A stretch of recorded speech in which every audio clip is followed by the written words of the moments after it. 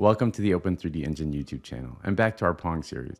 I'm Alex Damarjian, a technical trainer with the AWS Game Tech team. In the previous tutorial, we created a script that controlled the visibility of our start menu. In this video, we'll examine the material editor, create a simple material, and generate some 3D assets and components which we'll use to make up our paddles and our level environment. Without delay, let's get started, and I hope you enjoy the video. Let's begin by making some modifications to our ground plane. In the Entity Outliner, click the arrow next to our Atom default environment. This will expose its sub-entities. Then, select the ground entity. Over in the Entity Inspector, on the right-hand side of the screen, locate the material component. If any of these options are grayed out, click on the Generate Manage Source Materials button, and click on the arrow next to the ground plane material. Then, select the Edit Material instance from the drop-down menu. This will open our Material Property Inspector. Before we edit this material, let's discuss what exactly the Material Property Inspector is and take a tour of its interface. The Material Property Inspector is a condensed version of O3DE's Material Editor. In this video, we'll focus on the Material Property Inspector. Check the description below for more information on the Material Editor. Both the Material Editor and Material Property Inspector can be used to quickly allow artists to view, edit, and create new physically based rendering, or PBR materials. For instance, you can see here that the Material Property Inspector has texture fields utilizing the most popular PBR texture types, such as base color, metallic, roughness, and normal maps just to name a few. Let's return to our editor and edit some of these attributes on the ground plane. Currently our ground plane has a checkered texture applied to it. This material is a helpful visual guide for setting up units, but not really useful for our needs, so let's remove it. Locate the texture section of our material then click the X next to our gray checker base color texture, removing it. Our ground plane is now a very bright white, which may conflict with some of the other assets we plan to create later. Let's change the color of our ground plane to a near neutral tone, like a grayish blue. Double click the white color box in the base color section of the Material Property Inspector. A select color pop-up window will appear. Enter 67, 106, and 146 for the RGB values, then click the OK button. Now that we have our ground materials set up, let's save it by selecting the three bars in the File menu. Then, in the dropdown, select Save Material. In the Assets folder, I created a new folder called Materials. Within it, let's save our material as ground. Another helpful tool for laying out assets in our scene is the grid component. For this tutorial, we won't be needing it, and it'll only obstruct our gameplay view. It is currently a child of our Atom default environment entity. Expand this entity if it isn't already, and select and delete the grid component. Now let's create the walls that will make up the play area of our Pong game. In order to better see the area in which we will be building our Pong game, rotate your in-game camera by simultaneously pressing and holding the Alt plus left mouse button. Now, let's zoom out our view by scrolling the wheel of our mouse away from your screen. Let's begin by building the wall that'll make up the left side of our play area. Right-click in the Entity Outliner and select Create Entity in the drop-down menu. Then in the Name text box in our Entity Inspector, Let's rename our entity L underscore wall.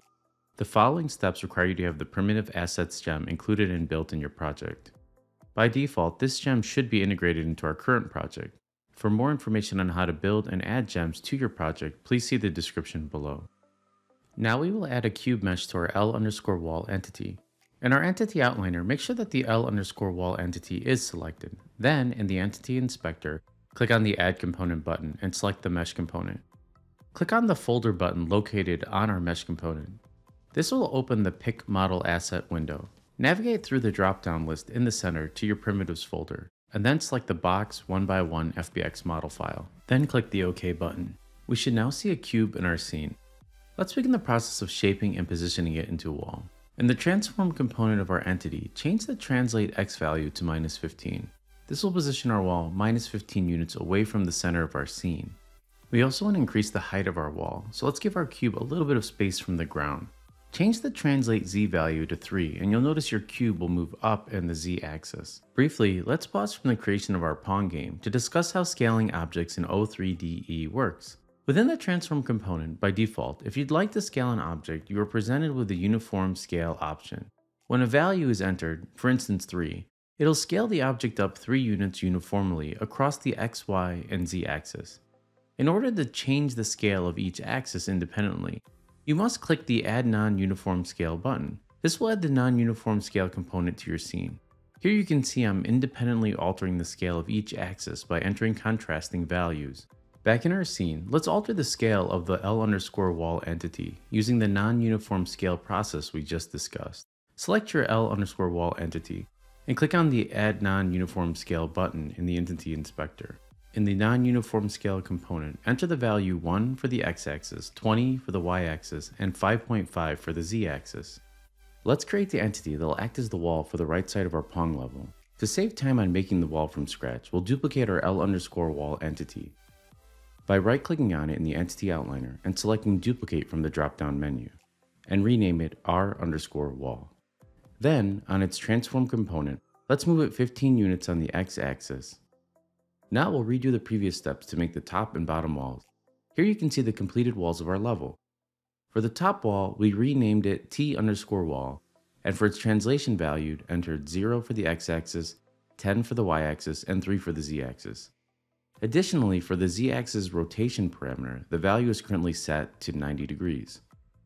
The bottom wall is essentially the top wall duplicated and renamed b underscore wall, with only one major difference, and that's the translation value of the y-axis. It's set to minus 10 instead of 10. Now we want to set our camera so it's looking down on our play area.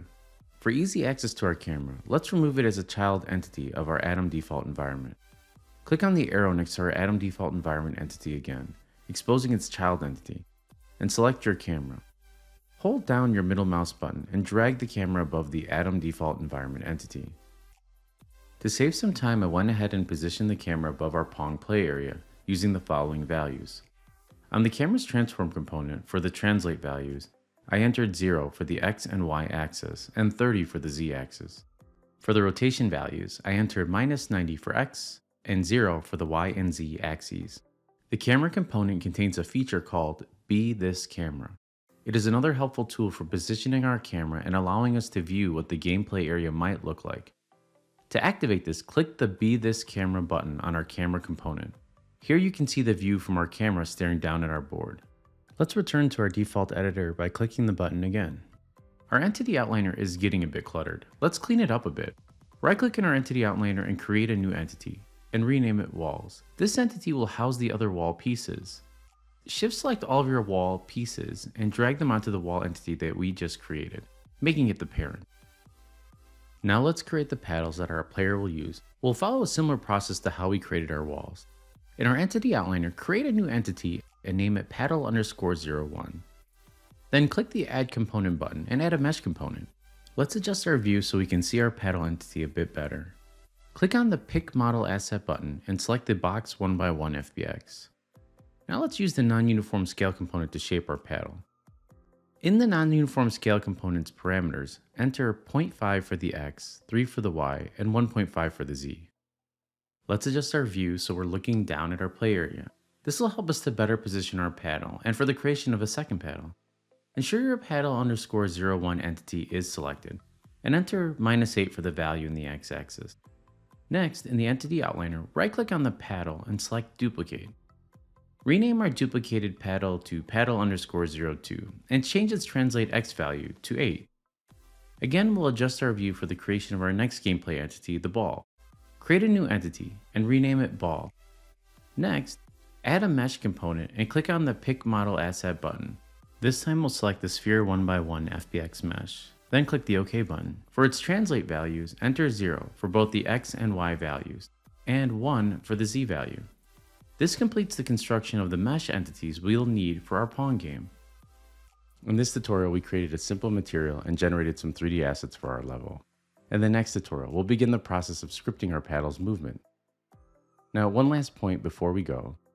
O3DE is an open source engine, and the O3DE community is constantly making important updates so check back often for more O3DE related content.